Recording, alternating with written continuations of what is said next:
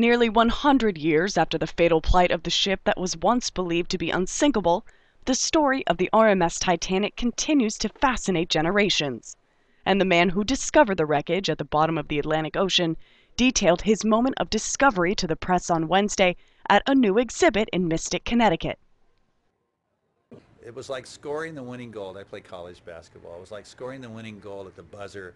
So we were excited. We jumped up and down and celebrated. And then, then someone, you know, looking at the clock in the control room said she sinks in 20 minutes. And we realized that we were there, and we were very embarrassed that we were celebrating. And so this mood changed, and it, it, it when, particularly when we started to see where the bodies had landed, and we realized this was a cemetery and not something that you should desecrate. The exhibit, titled Titanic 12,450 Feet Below, uses interactive technology, including seafloor footage of the site to show visitors what has become of the ship that sank to the North Atlantic floor in 1912. Over 1,500 bodies of victims were lost as sea creatures and ocean chemicals have dissolved their skeletons. Only their shoes remain.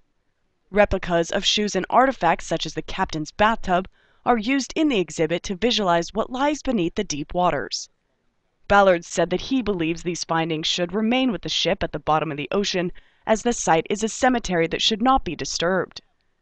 Many explorers and scavengers that visit the site following its discovery have damaged the wreckage.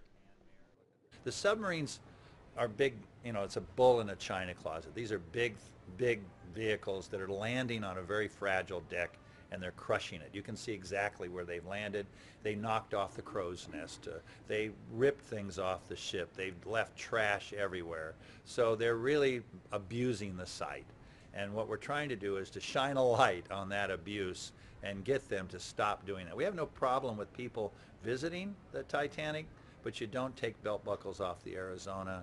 You don't go to Gettysburg with a shovel. You go there and you treat it accordingly, and why not for the Titanic.